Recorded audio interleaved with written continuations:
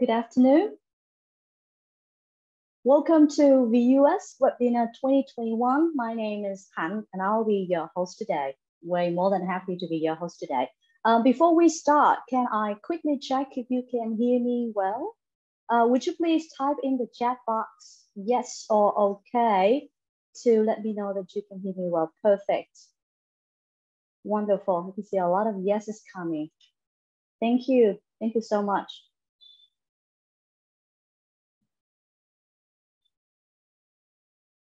All right, I guess we are good to start. As, some of you may know, um, the annual VUS TESOL is an expected event that attracts hundreds of teachers from inside and outside Vietnam to come and share their teaching methods. Um, due to COVID-19, however, it's been very unlikely for us to organize the event offline since last year, but also thanks to COVID-19, this free webinar series has been held to cater an even large number of teachers and created more convenience in terms of location and commuting, especially for faraway and abroad teachers. We're more than happy and proud to make this happen again this year.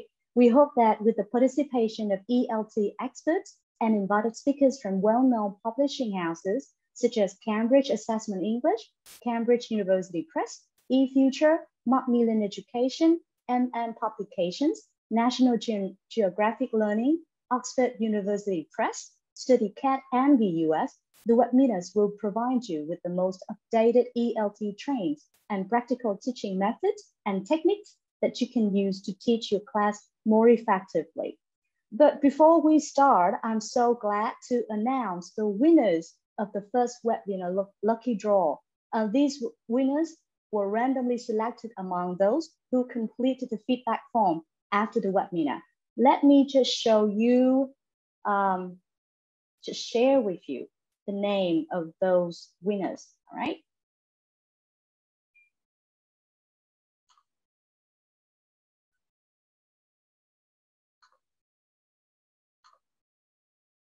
Here we go.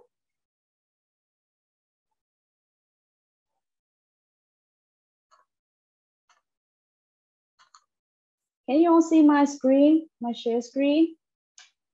All right, so congratulations to the five winners. Um, you are awarded with five English for Teaching programs online.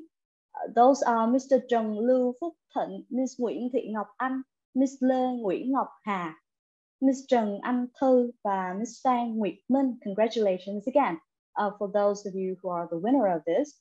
So VUS or the sponsor will contact you for the prize receipt. So please check your email regularly. Thank you very much.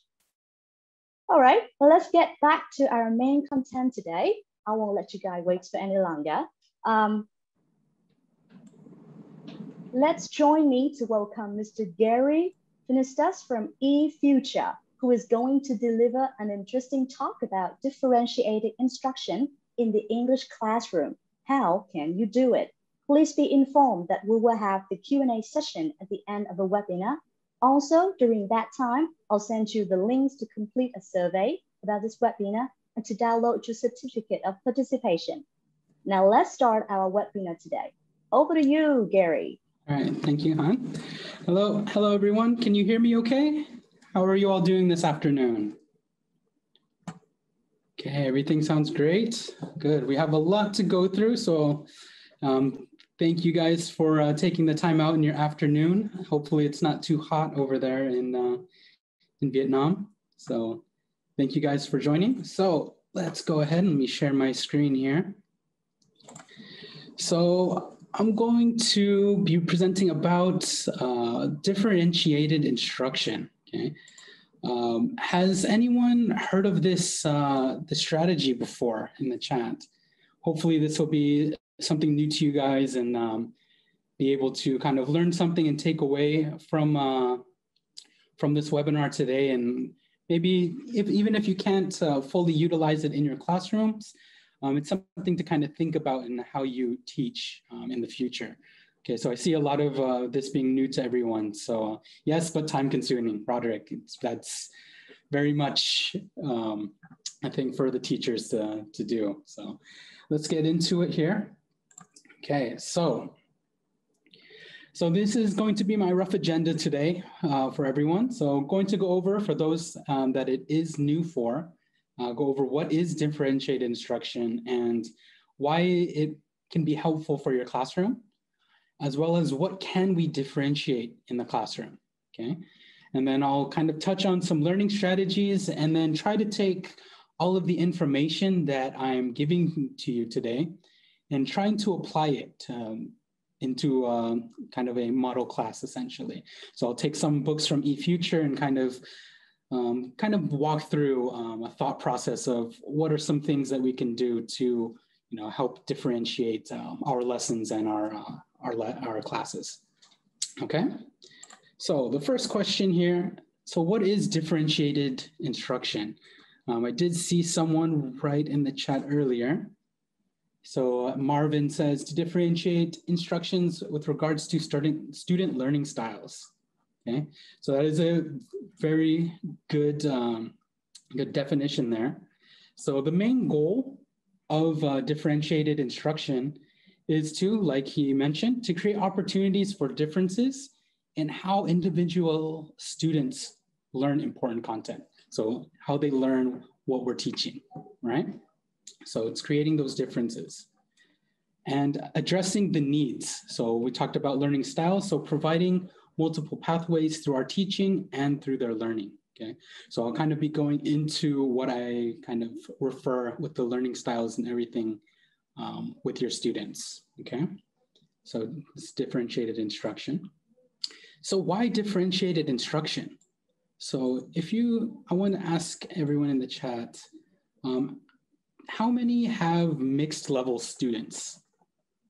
I'm, I'm, expecting a lot of you might have. So like uh, when, so a little bit of my background, I was an English teacher in Korea.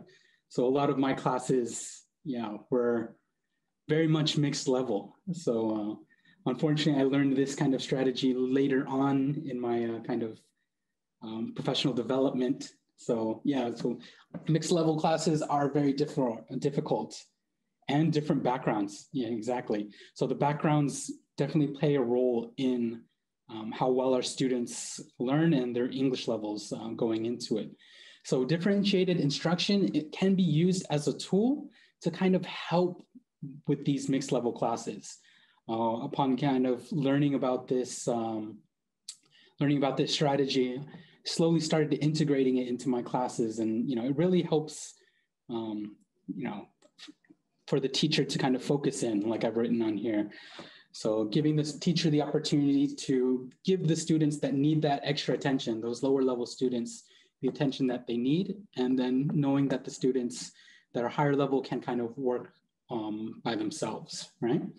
So it's something that benefits all students, whether it's lower level, mid-level, upper level, all at the same time of still being able to challenge them in different ways, okay? So when I talk about challenges, you know, the lower level students will have different set of challenges than the, uh, the upper level students, okay? So this is kind of why we go into differentiated instruction, okay? So going into thinking about our students, what do we need to, as teachers, think about, okay? So we have a what and a who. So what, of course, we have to think about what we are teaching, right? What we want the students to know, what we want the students to understand, um, not just in the single lesson, but across the whole unit, right? So that's something as teachers, we set the objectives for the students and then figure out from there, how are we going to accomplish these objectives? As well as kind of setting, um, setting the opportunities to get some deeper understanding of the, uh, of the subject, right? And then the who, so focusing in on the students. So the students are, you know, the focal point of, of teaching, of course. And just realizing as with people, people in real life that we encounter, people are just complex, right? So, and not all people are the same. And that goes the same as with our students and how they learn, all right? So students are very complex and they all learn differently, right? So we have to kind of, as teachers, figure out, it's like a puzzle, right? Figure out and identify the learning styles of kind of the students, and then how can we kind of uh, how can we cater to their learning styles? Okay. So now going into what we can differentiate. So I'm talking about what can we cater to the students? How are we going to get through to them? Okay.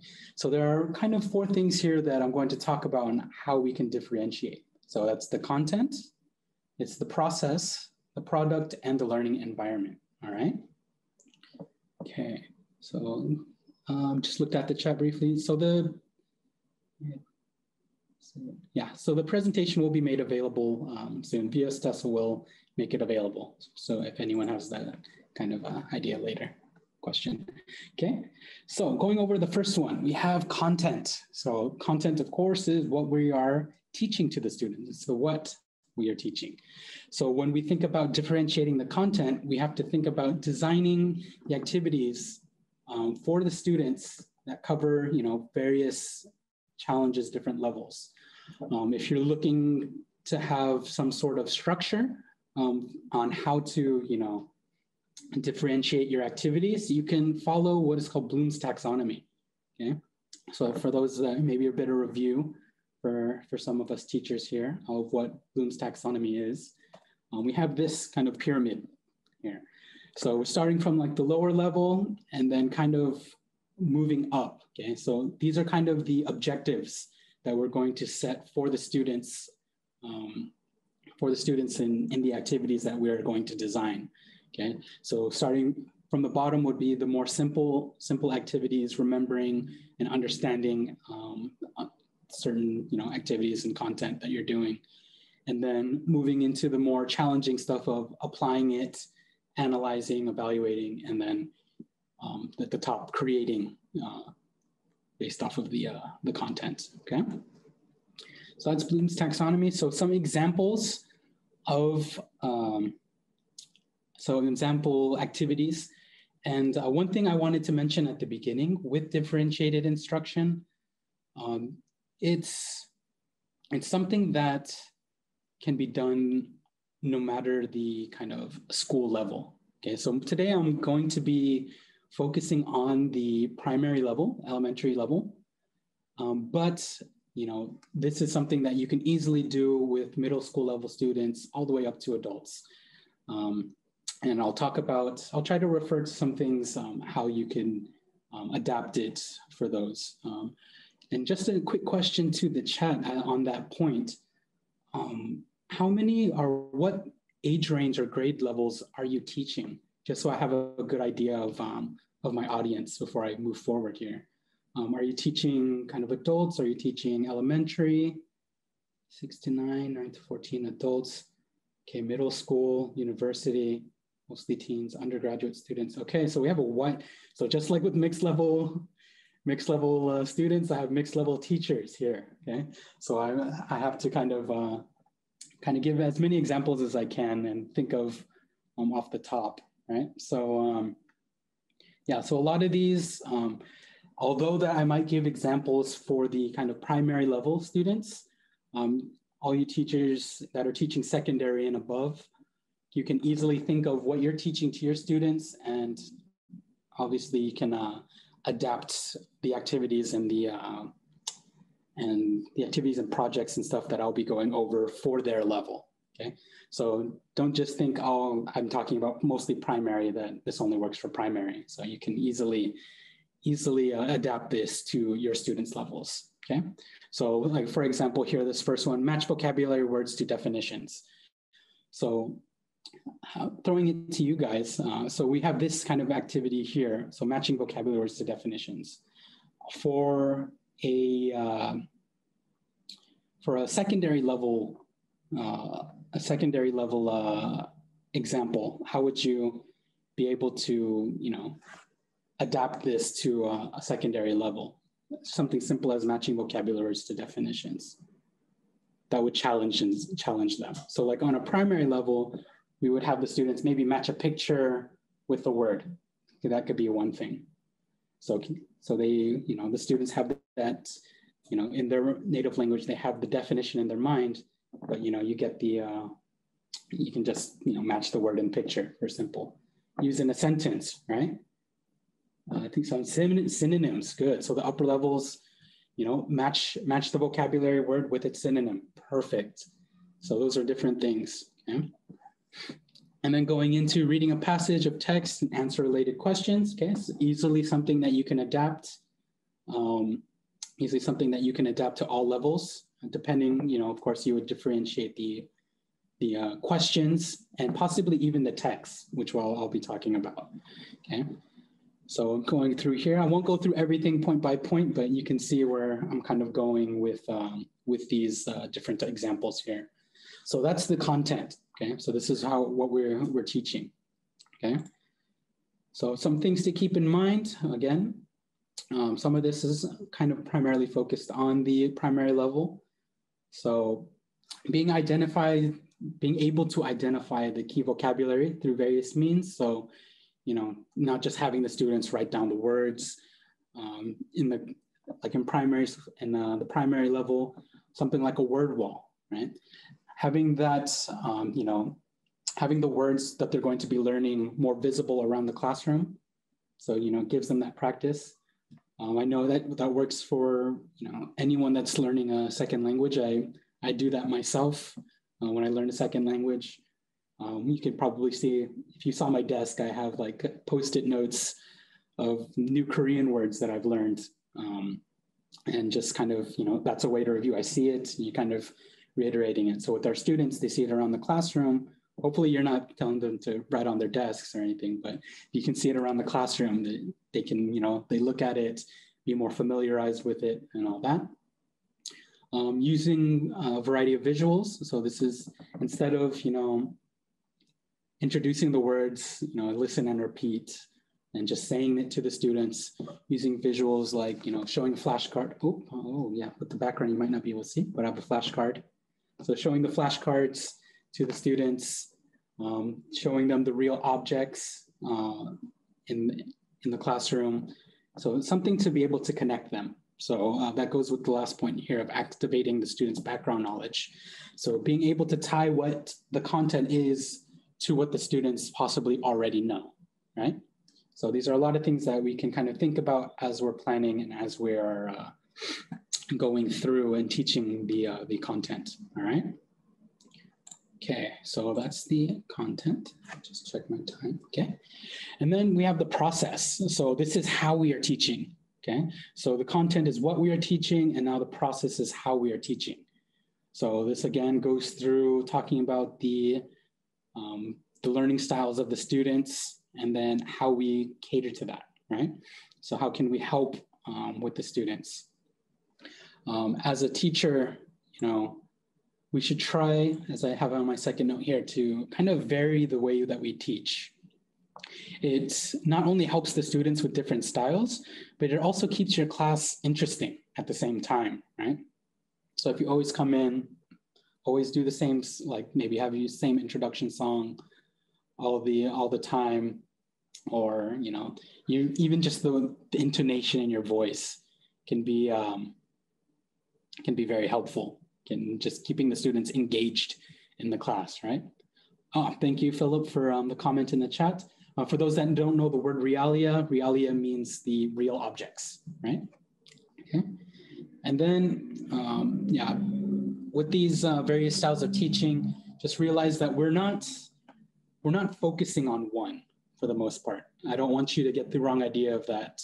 Um, as I go through each learning style in a second, that uh, when I talk about various styles, I don't mean just focus in on, you know, the uh, auditory learners or the kinesthetic learners. Different styles, you know, with different activities, you can cater to the various styles, all right? And the final note here before moving on to the learning styles and going over those, uh, differentiation doesn't mean individualization, right? So I don't mean for you to necessarily um, create individual lesson plans for each of your students, right? That's way too much work as a teacher, especially uh, depending on your situation, right? You don't want, like for me, uh, when I taught English in, in Korea, I had, my first year of teaching, I had eight classes of students with upwards of 25 to 27 students per class. And you can, that's already almost, yeah, maybe upwards of two, over 250 students um, to kind of plan around, right? So I don't mean for you to kind of do that. So I just want to make sure that you understand that. So going over the, uh, the learning styles. Okay, so, so we have first, so just want to go over these, these learning styles with you. So we have first the auditory learners, okay? So these are the students that, you know, are easy, easily learned through kind of listening, right? So songs, recordings, um, and they have to kind of focus in on what they're hearing a bit, okay? So these are the kind of auditory learners. Um, the visual learners, the ones that have to see it, you know, these are the ones that need the images, right?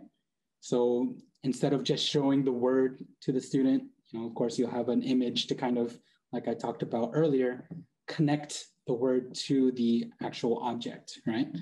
Gives them that, okay? Color codes, so for those that are maybe teaching grammar, uh, so for the upper level um, teachers in here, so using color codes, um, putting the, the verbs one color, the pronouns another color, you know, and then you know, verb tenses can be a separate color. So um, just being able for someone to distinguish between the different grammar structures is a way to, uh, to do that, right? Okay. Then we have the verbal learners. Okay, so this is someone that uh, needs to, you know, kind of use the language essentially, needs to speak it and wants to share and kind of, uh, yeah, talk a lot and essentially, the verbal learners, kind of self-explanatory there, right? Logic and math, um, so the logical learners, it's hard to go through with these with the, in the English classroom. Um, uh, the things that I can think of off the head again is going towards grammar because they need to, you know, understand the logistics of, you know, creating a sentence in another language, right? So, you know, categorizing all the verbs in one section, all the pronouns in another section, kind of deal there, okay? You can do, again, you can do this simply, you know, on the lower level, if you're, say you're reviewing um, previous vocabulary, animals, colors, and all that, you can still kind of categorize through that as well. Kinesthetics, these are the ones that need to move, um, TPR activities, um, you know, with a lot of the song and chants that uh, are available in a lot of the books. Um, there's a lot of action that goes along with each of them. So, you know, especially if they're learning, you know, verbs or uh, activities and stuff, using their body to kind of, you know, bridge that gap of uh, to learn the uh, learn the content. Okay. So just a few more, social and interpersonal. So these are the ones, uh, ah, TPR, good question. TPR activity means uh, total physical response. Okay, so it's just anything moving, getting them to use their body and move around. So they, uh, yeah, just actions essentially. Yeah, good question. Okay, thank you. Uh, social interpersonal. So these are the students, you know, that like to, uh, you know, be social, be go work in groups. They don't tend to work alone. Um, you know, role playing activities, projects, and all that um, will be very effective for them. And then the solitary, so the the opposite of the social. You know, you get those um, you get those uh, students that you know the quiet ones. They tend to kind of uh, sit aside and rather just work alone. Um, I've had some students like that, and this is where you know you can go up to them you know, if we differentiate with all this, you know, if the student wants to work alone, that's okay. But um, and some things I'll talk about later, we, you know, hopefully we can try to integrate them as well um, through all of it.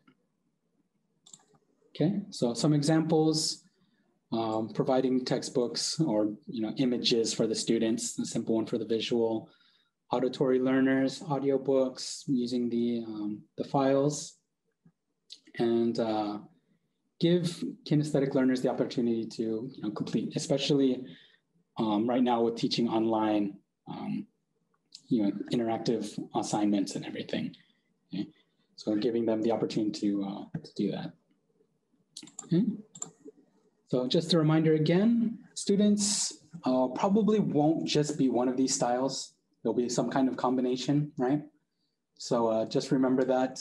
Like I, I, briefly went over it earlier, kind of reiterating myself a bit, that um, we're not trying to zero in on one style for each activity, right?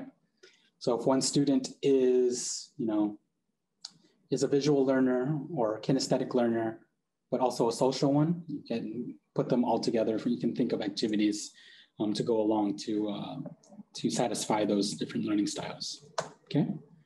And then the product, okay? So we went through what we're teaching, how we're teaching, and then now we're focusing on what the students are producing, right?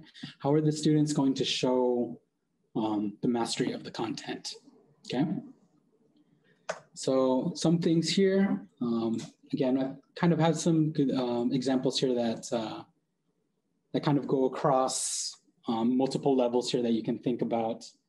Um, you know, reading and writing book reports if the students want book reports, um, using graphic organizers, having charts, you know, um, idea webs, all of that. Auditory learners, you know, giving the uh, oral reports, kinesthetic, you know, giving them something to use their hands. So like building a diorama. Um, if you don't know what a diorama is, it's kind of a, roughly, it would be like a, could be either like 2D or 3D, basically um, uh, project of making a uh, making a scene from the content or or something like that, right? Pop-ups, good, yeah, as well.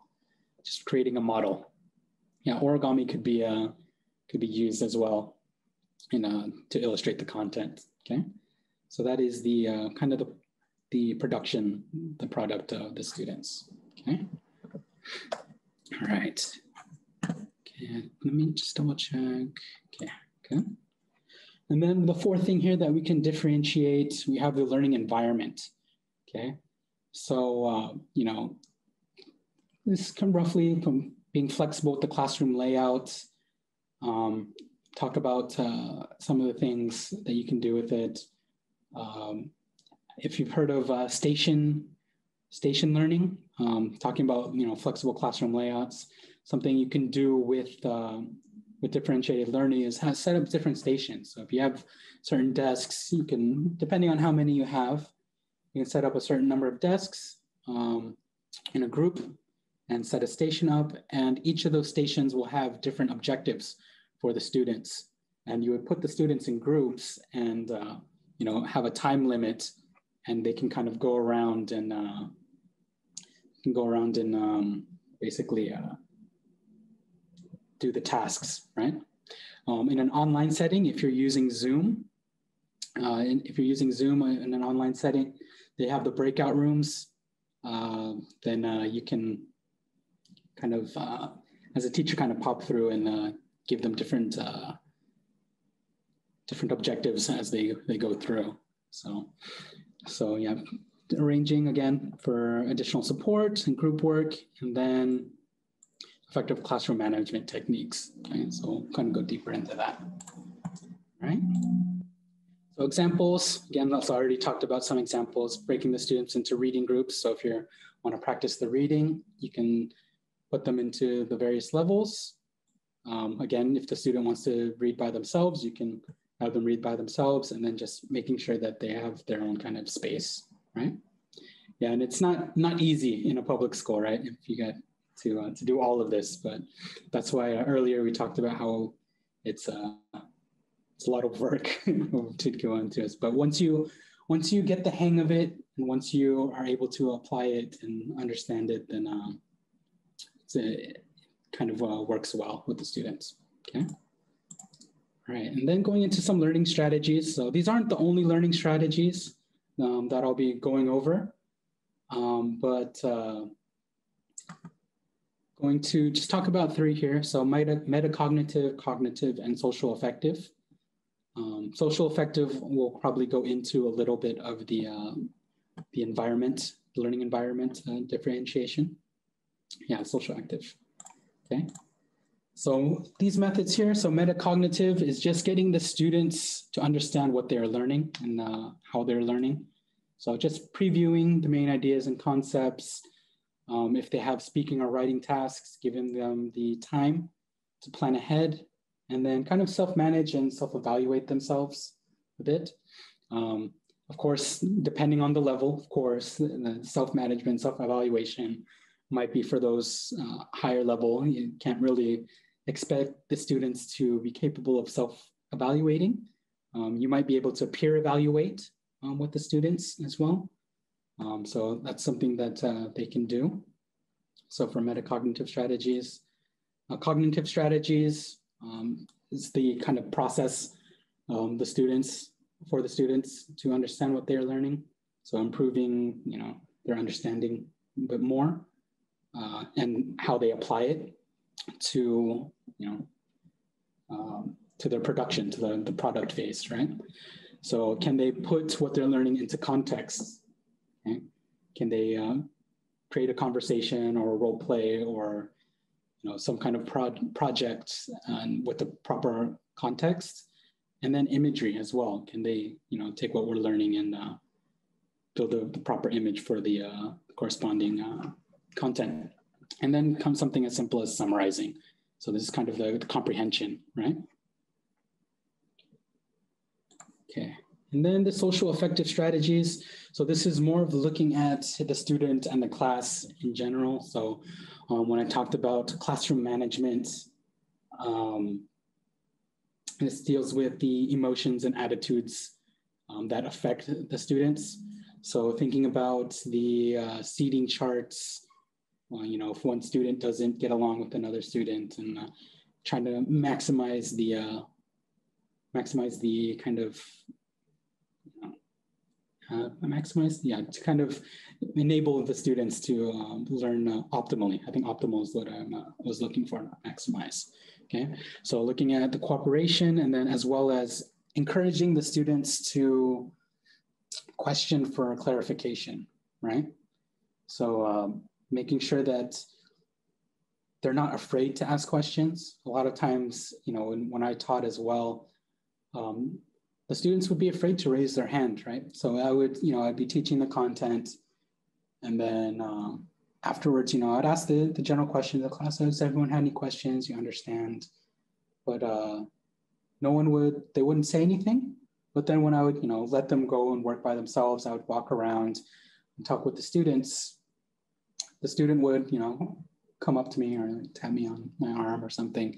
And they would ask me a question because, you know, uh, they would again clar- I would have to re-clarify for the students um, that didn't understand and just trying to build that environment where you know making them feel safe that they're not going to be kind of ridiculed or anything for asking a question right so uh, kind of kind of uh, encouraging encouraging questioning right so those are the kind of different learning strategies that we can uh, kind of go around with yeah, not be judged all the time, right?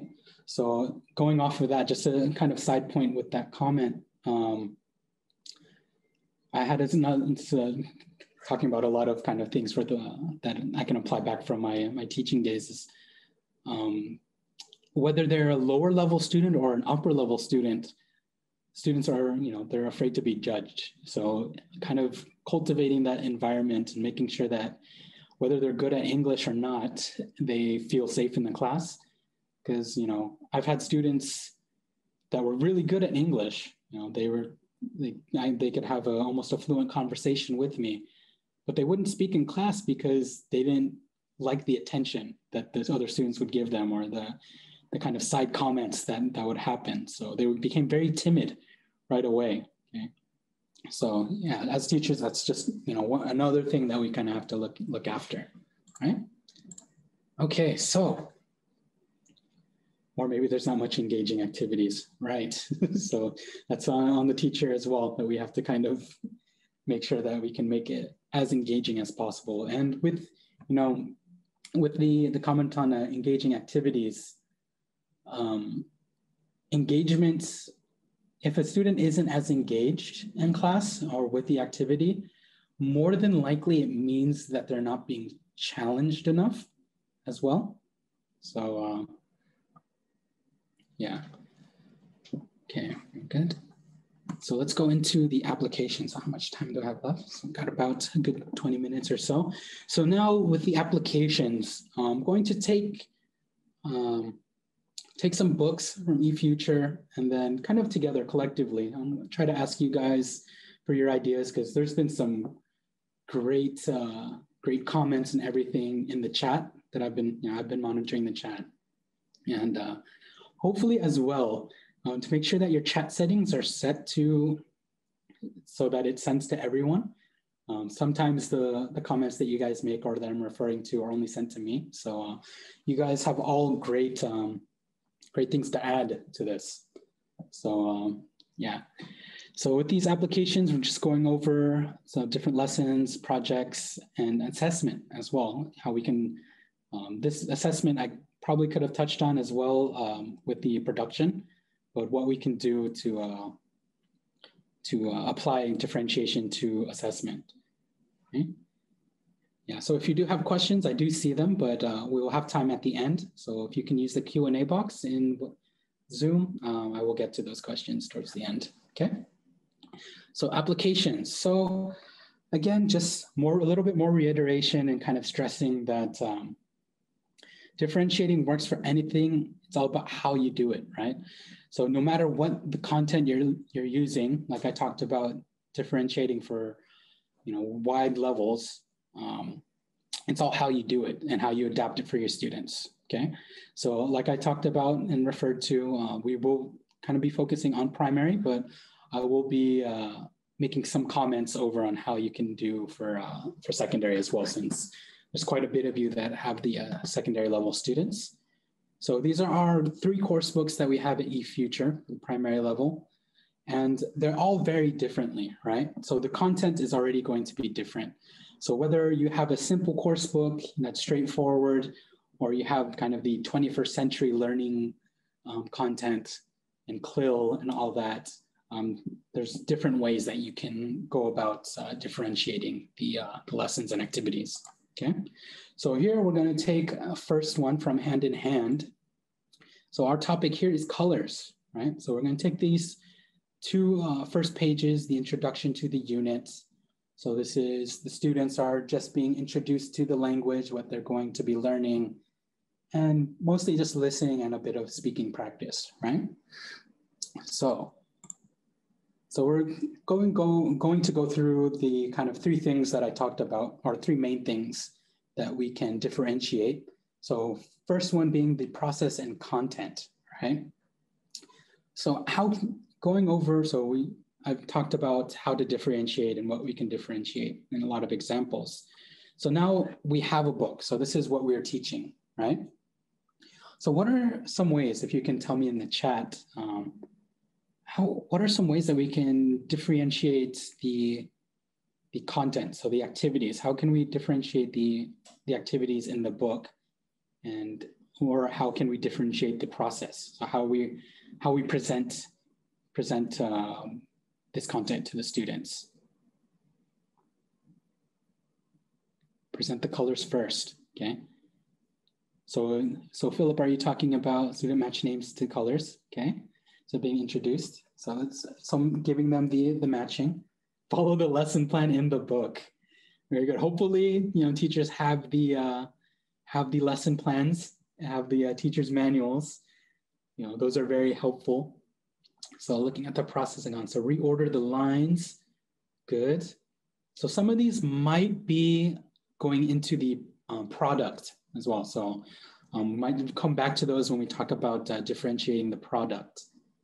So use real things. Good. So so let's go back. So on the top, we had present the colors first. So what Philip says, well, presenting the colors first, um, what I used to do in my class, pre-teach, right? Pre-teach the content a bit, okay? Pre-teach the, pre-teaching the content. So before we get into kind of the conversation, the main conversation in the story or in the book, the students kind of have the idea already of what the words are. Because, you know, sometimes, you know, the students can't, they, they don't know the words already, you know, activating the background knowledge, okay? So using the pictures to present, perfect, good. Using the, the realia, Ask them questions about the photos. Good. Picture walk. Yeah, so a lot of things. So that's that's a good way to uh, activate the students' background knowledge. Find objects in the class with these colors. Great. It's a great one. Ask students what to think what would happen next. Great. Prediction. Predicting what will happen next.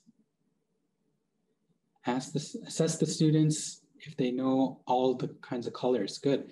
So that's a good kind of warm-up activity. Um, there's one, so uh, I didn't put it in my slide, so I'm going to say this verbally with, with that, uh, Rebeth, what Rebeth said. Um, there's an activity that you can do called Think, Pair, Share. Okay. And that's a good way to help differentiate and kind of, um, kind of, uh, kind of cater to different learning styles.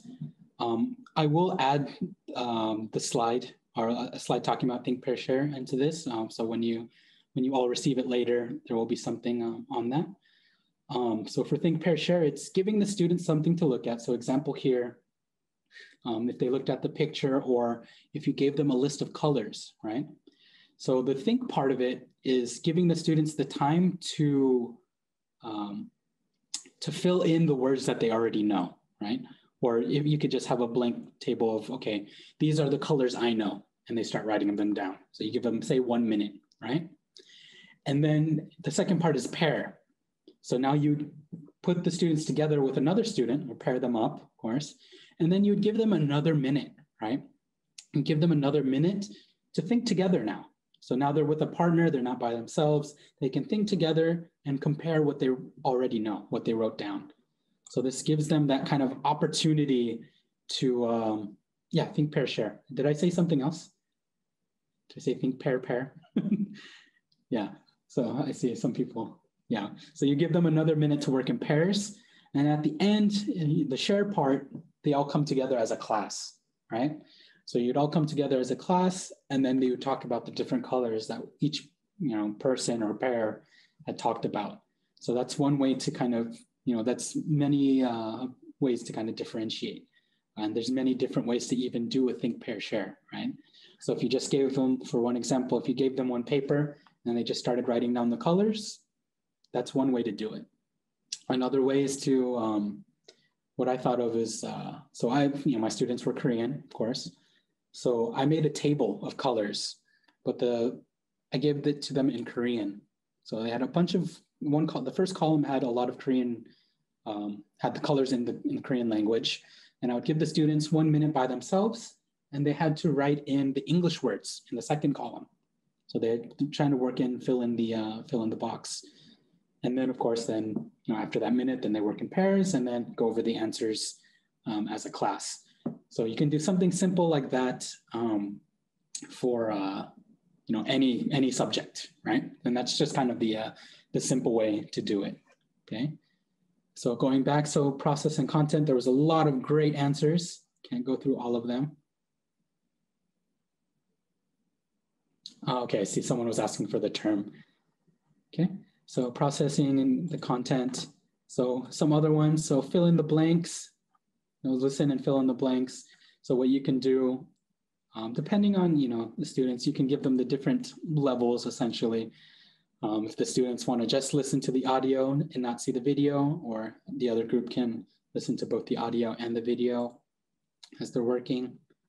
And then uh, what you guys have already said, questions, questions about the conversation, questions about the pictures, and then you can tier the questions as well, okay?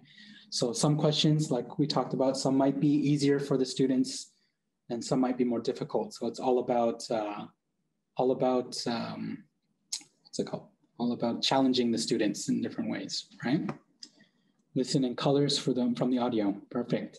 If the students have like cards, right? Color cards. Oh, this would go more into the product, but yeah, so some other things for the product. So that I've thought of. So the students can create their own version of the story. So they can keep they can keep the um, the same dialogue, but then you know give them the kind of artistic freedom and they can create their own images and uh, drawings to, to go with the uh, dialogue. Um, going into the second part here for the lyrics, the students can change the lyrics if they want to create their own song. And then the role play, okay? So giving them the opportunity to group role play or just partner role play um, is a good thing. And uh, with differentiation, like I'll talk about, um, a lot of it is giving the students the choice, right? It's all about student choice. So that is a big factor into uh, differentiation. Okay, so that's the product here. And then now we're going into the next pages here. So words and grammar. So they're looking at the sentences, introducing or reviewing the, uh, the colors again with the students, and then a little bit of speaking um, practice. So looking at the process again, like I talked about, using realia, using real images, and then some games and activities, right? Someone said Pictionary earlier, right? So you can have the students do a Pictionary um, activity. You can do it through Zoom if you don't already know. If you are teaching online, um, there is the kind of uh, drawing function and the whiteboard that you can do um, when you screen share. Let's see, if I have time. Okay, I won't have to. I was going to try to do a round with you guys, uh, but running out of time for me to uh, do a Pictionary round with you. But you can share like a whiteboard and then draw um, different group games that you can do with the students, and then a memory game as well. Kind of, you know, match the picture or match the color with the word and all that. Okay, a little bit quicker. I want to get to your guys' questions as well. So going through the products, okay. So different projects. So we have a rainbow here. So the students can, you know, be creative, and create their own rainbow, and talk about the colors on the rainbows and what order. Um, they can make a few sentences and draw um, something that has their favorite color. And then, or just doing like a list, you know, organizing the colors from least to most liked. Okay, some kind of simple activities. Right?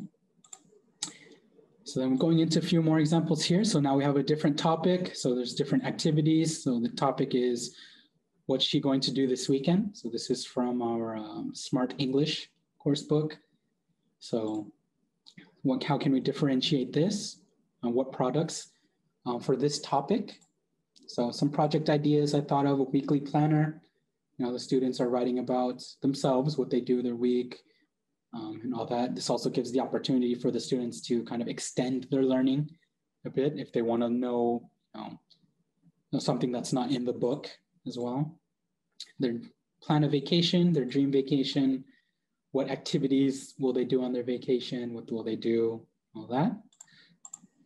And then kind of write a story about one of these. So they can give them the, the option to pick one of these things and then write a short story about it, right? So those are some things that you can do. Or you can give, you know, you can have the students present the students with all three of these project ideas and just have them pick, right? Pick one. So here's some examples. So if I, for example, picked eat out at a restaurant, so a restaurant project, uh, these are some examples that I found. So you can um, have the students write about their restaurant, create a menu, right? Well, you'll, what they, you know, give like an advertisement pitch. Okay, so this is an example I found. And then uh, for online interactive stuff, um, there's a lot of websites that students can use for, um, for these projects. So one example here I've used is, uh, is Canva. So I just made a simple, simple menu and then I could present it to you guys and talk about it. So like here, so my favorite foods. So $1 tacos. I'm from California and California has a lot of Mexican food and I love it very much and miss it a lot. And the tacos were very cheap. So $1 tacos, Taco Tuesdays for all of you. And then some of my favorite kinds of tacos, you know, fish. Um, does anyone know carnitas? Or carnitas is like shredded, uh, shredded pork and shrimp and carne asada. Korean fried chicken, you know, I live in Korea. Korean fried chicken is, you know, one of the most delicious things. It's the, the new meaning of KFC to me, not, uh, not the uh, restaurant chain now and then some other things, you know, see that's that way the you know, students can present it, uh, present their project this way as well. And if they don't, again, giving the students choice, differentiation. If the students want to do it in a pair or in a group, they can do that as well, right? So you can easily do it uh, to for the students on how they want to do it. And um, with the student choice, I'll briefly just talk about it's it's all about giving students their own like the ownership of their learning.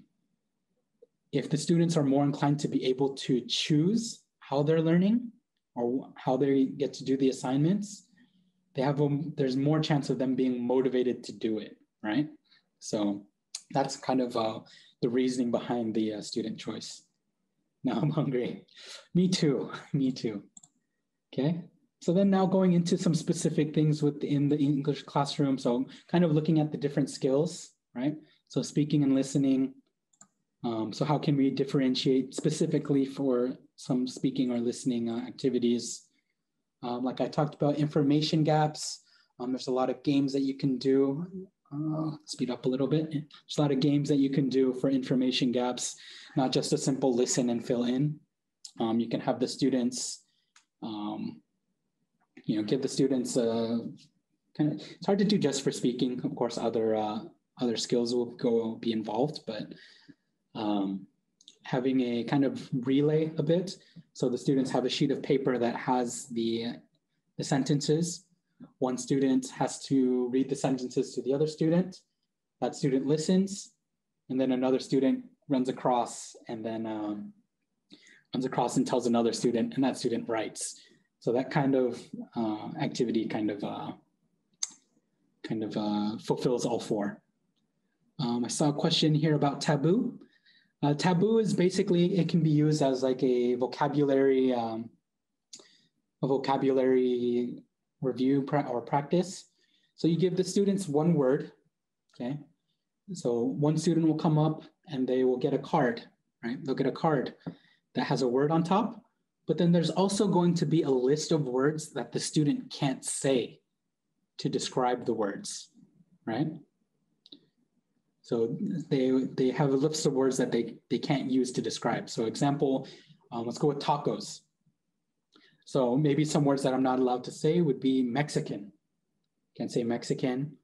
You can't say Mexico, anything associated with Mexico, where you can't say, um, yeah. So there, you would have to think of different ways to describe the word so the students can um, can read it or can guess it to the student.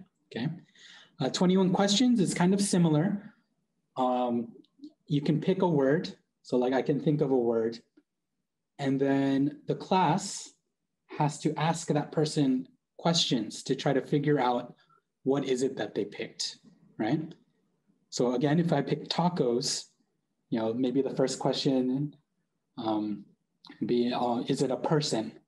No, and you keep going like that until you, you kind of narrow it down until they figure out what the word is that the student picked, okay? So those are some of the games. Bingo, you guys should know. Who am I is kind of similar um, to 21 questions, but it's more focused on people. You can kind of do that as a for fun activity. Um, or if you're learning about jobs, um, for those that are teaching the adults, you can obviously have more freedom of, uh, of being able to do that.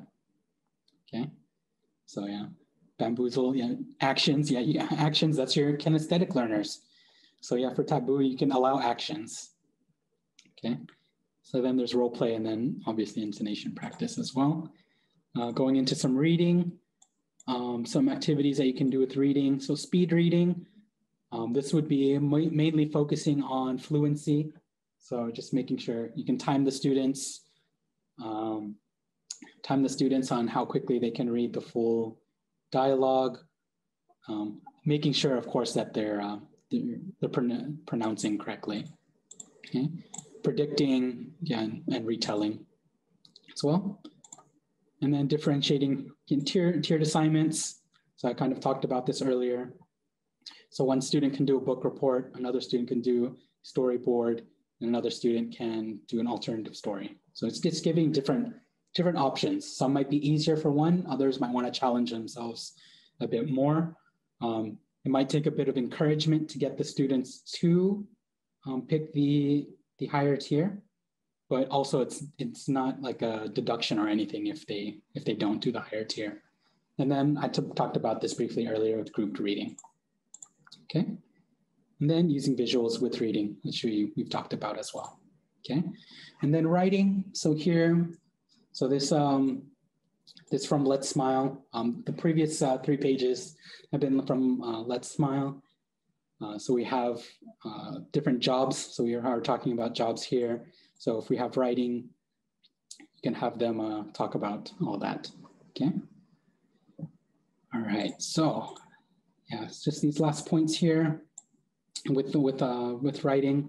Again, you can do it in groups, different styles, let students choose the theme and all that, okay?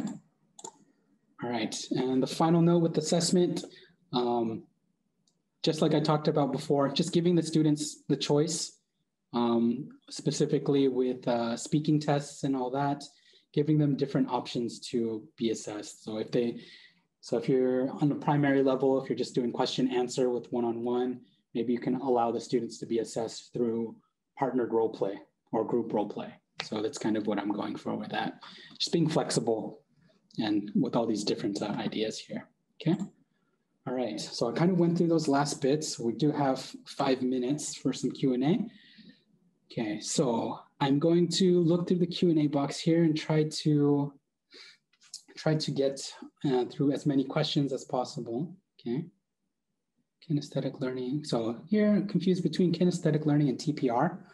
Oh, so kinesthetic learning, uh, Alex, um, to help with kinesthetic learning, TPR is the kind of activities to help them learn kinesthetically.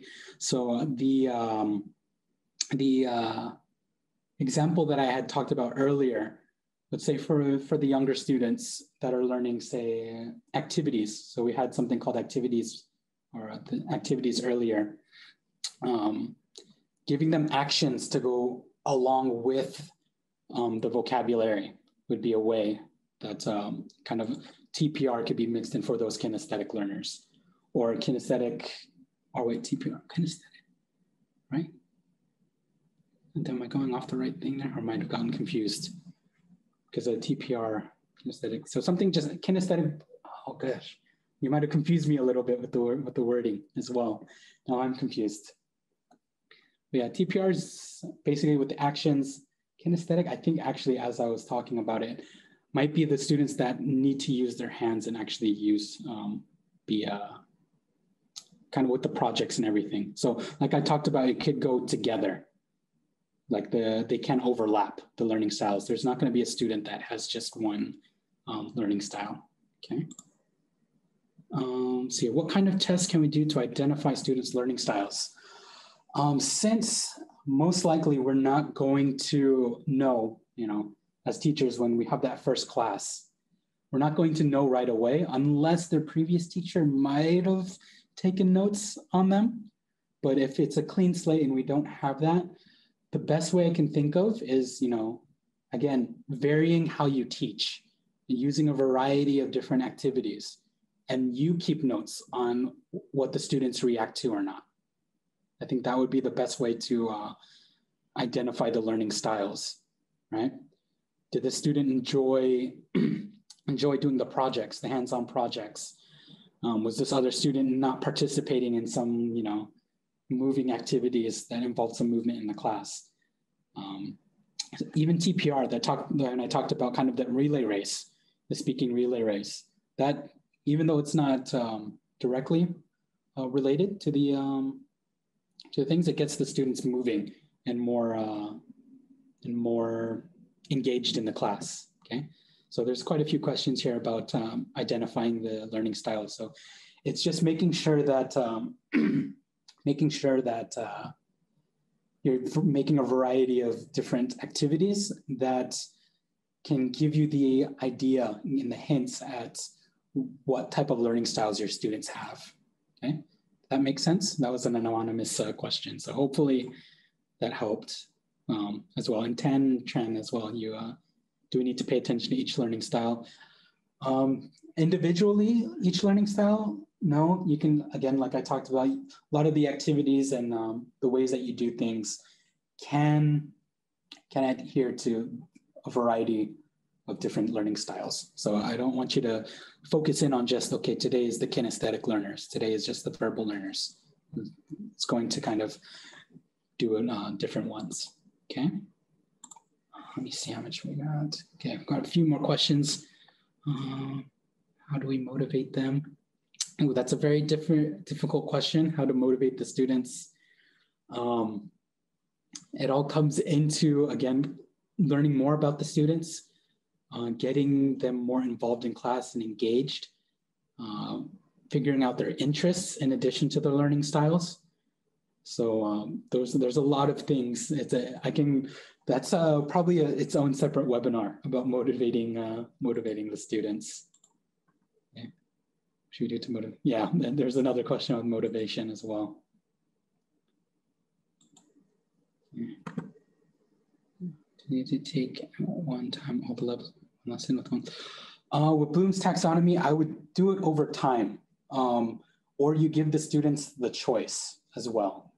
So talking about tiered activities, um, some students won't be able to do the you know evaluation, evaluate or create. They can only do the uh, understand and uh, remember part. So you can do different tiers of the Bloom's taxonomy and different activities for the students to do. Um, I wouldn't try to fit it all in one lesson. That's um, over, uh, it's overexerting yourself as a teacher. Okay. Online TPR activities. Oof. Yeah, so you can, if you're going to do actions and all that, you can have the students with their camera on and try to do it that way. It'd be very difficult but uh, there are ways. Um, uh, there's a reading game that I've done before where you can put symbols. You can give the students a text to read and give symbols. And uh, the students have to do an action while reading. So that would be a, one way to do it. Okay. All right. Okay. So I think I'm a bit over time here. So there's a lot of great questions. I wish I could get to all of them. Um, yeah, so hopefully, I'm sorry if I couldn't get to all your questions. Yeah, there, you guys are great. Uh, my email is here on the screen as well. Um, so if you if you want to send me your questions um, through my email as well, I can try to answer them the best that I can.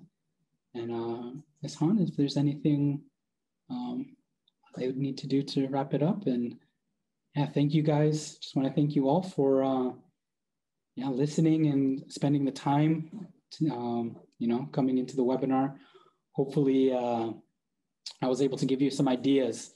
Um, I mostly tried to do this as a jumping off point for you guys to kind of plant the seed a little bit um, into, into you as a teacher to give you uh, different ways to uh, get to your students. Because I know, you know, mixed level classrooms and being able to help your students is not easy, especially nowadays. So uh, thank you guys again um, so much. And uh, so, yeah. Thank you, Gari. Thank you, Gari, very much for your um, presentation. And thank you, everybody. Uh, we hope that you enjoy our webinar today and will be able to apply the ideas to your teaching practice. VUS, your English, your future.